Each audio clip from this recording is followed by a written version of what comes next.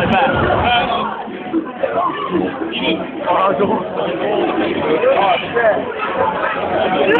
that was a hard kick in the face. Did you hear that?